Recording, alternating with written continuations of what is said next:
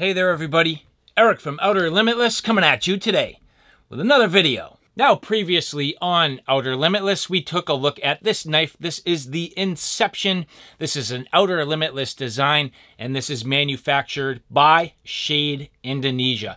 At this point, this is a full production run. I've had these out, people have purchased them, and I've had some excellent feedback. People really enjoying this knife. But once I got it in my hands, I realized I wanted to make a smaller version. So this here is the Inception 5. Now, the original Inception is now considered to be the Inception 6. So the Inception 6 with a finger choil, that full-length handle, and then the Inception 5 full length cutting edge, no finger choil, excellent ergonomic feel. And today we are going to look at, I guess what I'm going to call the first production run. Now in this box, I do have a number of the Inception 5 models, fully fabricated by Shade Indonesia. I also have some new prototype designs that I'm really excited to see. So I've been hard working behind the scenes with Shani from Shade Indonesia, getting to some good hard work. The guys at Shade Indonesia really pouring some hard work and effort into making this batch of blades, and so we're going to unbox this today. And so with that said, I have a whole bunch to do and a whole bunch to share with you, and if you're interested in seeing a little bit more about what I'm about to get into, do me a favor, stay tuned.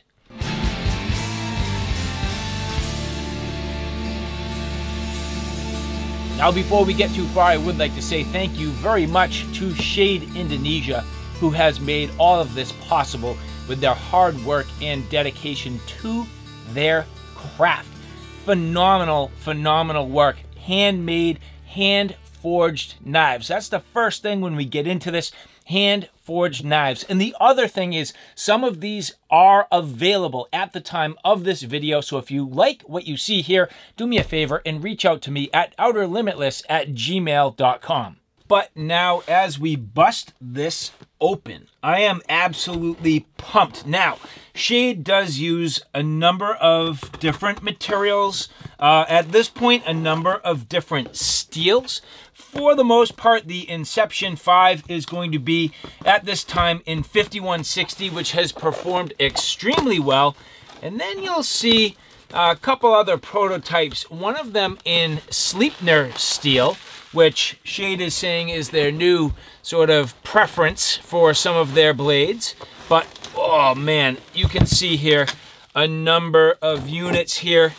Let's bust these out and get a look. And so as we get into this, this here should be five of the Inception 5, two of a brand new prototype, and one of another brand new prototype. And this is a lot of quality eye candy. Here I can tell you that for sure. I am absolutely stoked to see what is in here. Which at this point, if you take a look here, you'll see I do have three of the Inception 5 with the green and black handles. Now you can see here, of course, everything wrapped. I am not going to fully unwrap this here uh, because I can show you this in reasonable detail so you'll be able to see everything. But the handle here, you can see in the green and black, which is literally the exact same handle as you see here on my production model Inception 6.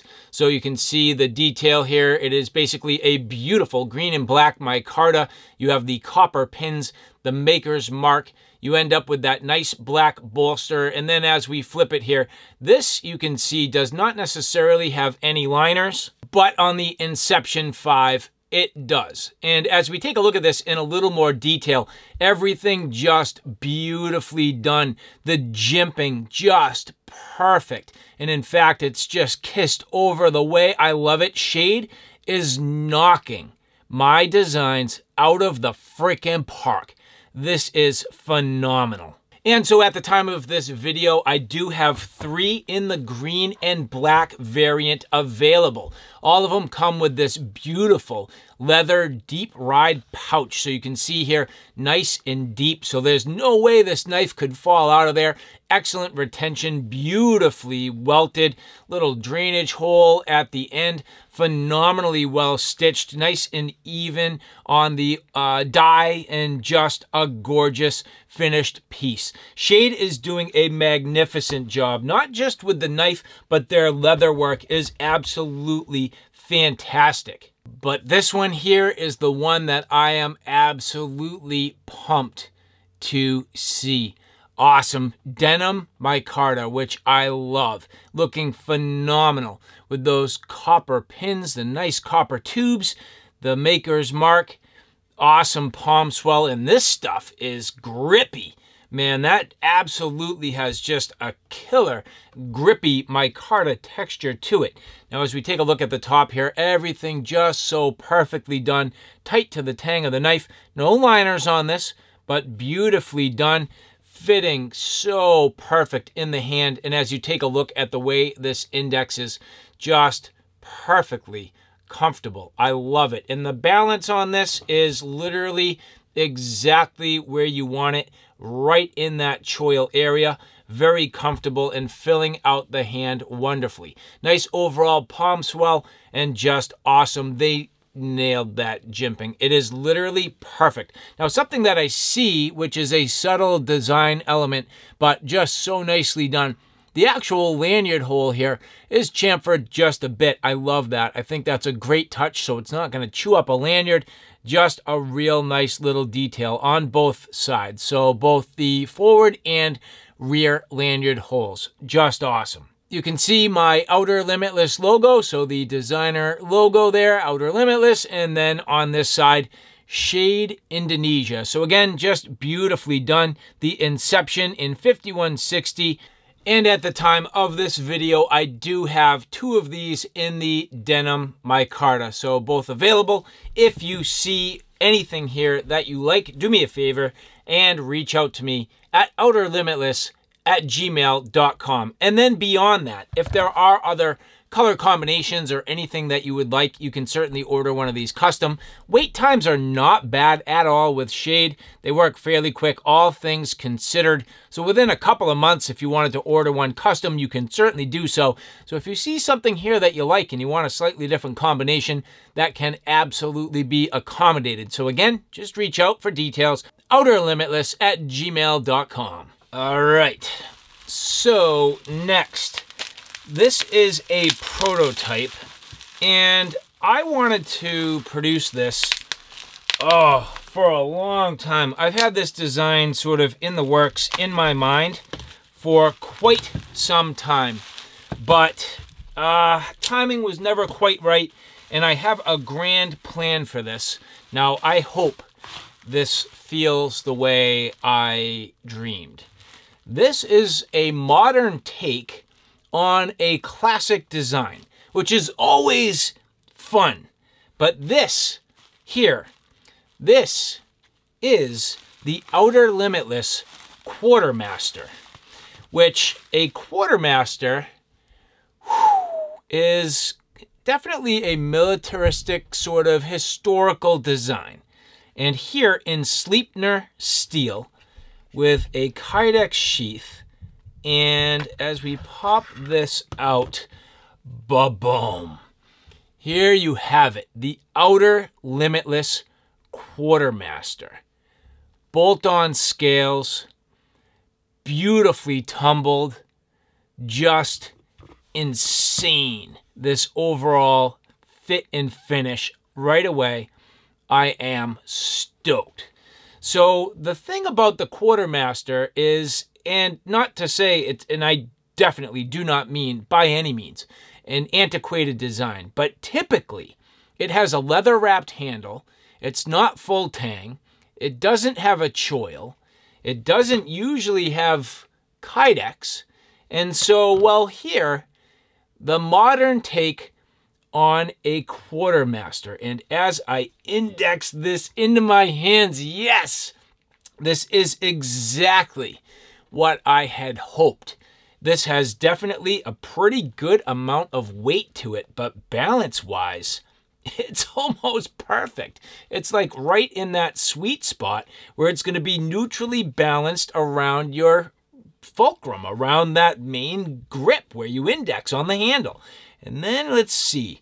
Finger choil wise, yes, that's going to be great. Getting up in there, a nice full choil, my ability to get in there. Now, pay attention to the fact that typically if you have an upper quillion or an upper guard, that can really get in the way of your finger choil. But here, it's subtle enough, and that ramp is subtle enough that you can really get in on this without a problem. Now, I did talk to Shade right away. I knew when I saw this that I was going to have a little bit of an issue. I need this fully softened and rounded out. That cannot be a point like that. Now, I'm not saying this is sharp, but what I'm saying is that is not as ergonomic as I need it. And also on this pommel end, this is all supposed to be fully rounded out for comfort. So in a reverse grip, as you get over the top with your thumb, that does not leave any sort of hot spot. This all needs to be rounded out. And that's how I like my designs, and that's what I need it to be here. Now over the top, this is also supposed to be sharpened for scraping tasks, and I don't feel like that's sharpened or squared off at all. So the modern quartermaster, in my mind, needs to do all that field work, including the fire prep tasks. For me, a field knife like this has to be a survival class knife, and if you can't use this to scrape, it's not gonna do it. So right away, I think there may have been a little bit of a loss in some of the translation.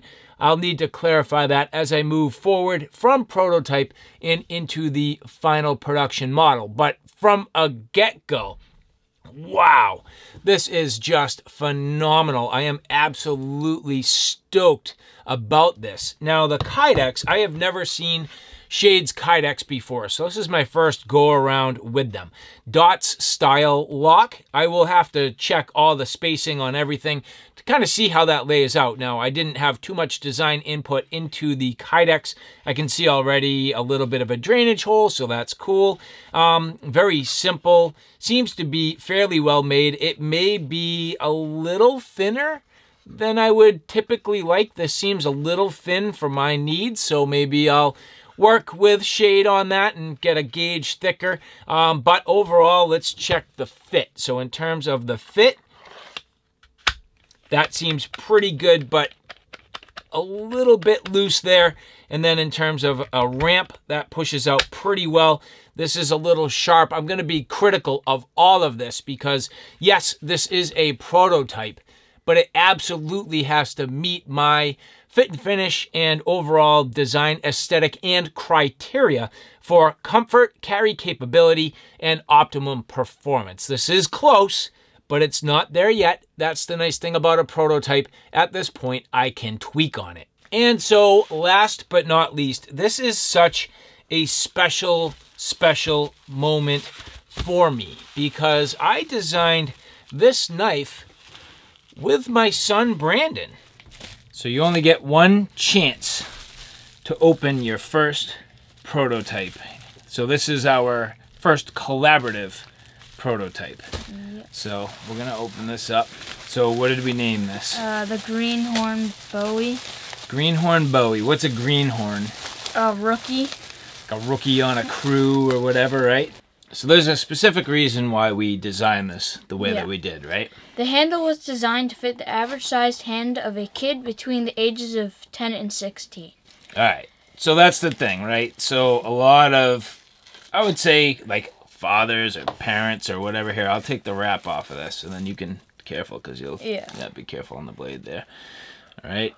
But a lot of fathers, you know, kind of getting their kids into these sort of bushcrafty tasks or you know camping or things like that you there are options so you know for the longest time i mean this was yours you know right, nice yeah. you know a mora simple cheap but i wanted to design something with you that really would be the average for a kid as they're getting into this. A, you know, a good, robust and, and stout knife. And this is what we came up with. So Yeah. we designed it together. How long do you think it took us? Uh, like 20 minutes, maybe?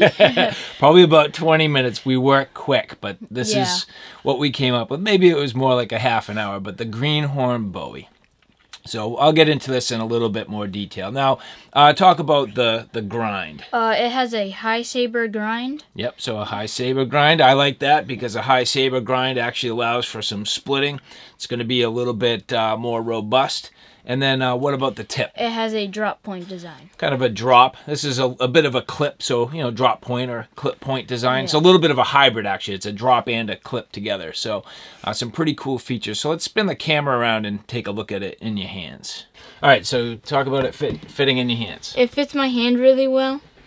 Um, So at this point, I mean, you're 13, right? Yeah. So as a 13 year old, fits your hand really comfortably, and even for an adult. So as you see, for me, that's going to be about a, and I'd call it a shorter four fingered grip, but for you know, for a, a kid, right. uh, you know, the youth, literally fits your hands about perfect. Perfect, Now, how talk about the sort of the, the comfort in your hand. The handle's really nice because it's smooth and it doesn't like rub on your hand well. And you have a really nice firm grip on the knife. Um, you have a really thick some thumb support on the top. Yep. And then how do you feel about the way see how we kind of sculpted this? I mean, this is the stuff that that takes a while to get it right. I mean, how do you feel about how that how that feels now that you have it in your hands? Really good. About perfect, Yeah. right? Good. It feels really nice. So we actually went and we took a bunch of measurements of uh, both, you know, both of my sons. So 10 year old hand. Uh, so this is the average sort of measurements for, you know, a 10 year old. And then, you know, I took Brandon's measurements and I looked at the typical adult hand and sort of made all of these comparisons. And that's how we came up with this overall size. Now the blade itself having a number of different features that are going to be pretty much what you'd see in, you know, typical uh, bushcraft knives or wilderness knives or things like that but now giving all the same features to a kid who is learning. So, generally speaking, very, very good. Again, here, it's the Greenhorn Bowie, man. Yep. All right, so moving forward, what do you think? Some field testing in the future? Yes. All right, so we'll get these out. We'll do some field testing and uh, we'll see how it performs. That's when it really gets fun. Yeah. So nice. Congratulations.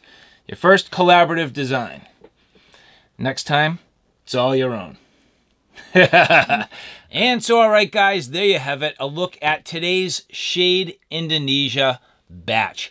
Always fantastic to the people at Shade Indonesia. Absolutely phenomenal work. They always hit it out of the park. Shawnee is absolutely amazing at what he does. His whole crew, fantastic. And the craftsmanship is just second to none. Just so beautifully done. So again, I do have a number of the Inception 5 models at this time ready to go. So if you like what you see here, do me a favor, reach out to me at outerlimitless at gmail.com. And then beyond that, just, you know, now that I have some production knives moving, and getting into some more prototypes. Absolutely awesome. I'm psyched about this OL Quartermaster, the modern take on the Quartermaster. Now, again, I know that there are some things that I will be changing. Very subtle, but at the same time, it will make a difference. So this should be ready for production fairly soon. And beyond all of that, I'm just so proud to now have a design that is co-designed with my son. He's been around me long enough working on these things. He's stepping in, he's starting to design and getting involved. I love that. He's 13, but taking an interest in all of this and just knocking this little greenhorn Bowie out of the park. I love it. So I'm just proud at this point. I'm proud of the work. I'm proud of all the effort and I'm proud of the result. Everything coming together nicely. So to all of you, thank you so much. I do greatly appreciate all of your support. I appreciate you following along and I appreciate your business. So, again, if there's anything that you like, please reach out in any way, shape, or form. Comments below, or if you like what you see here, outerlimitless at gmail.com. So, all right, guys, thanks for stopping by. I hope you like what you saw. I hope you found it a little bit informative. If you like what you saw, please like, share, and subscribe. And as always, thanks for stopping by. Take care now. I'll see you soon.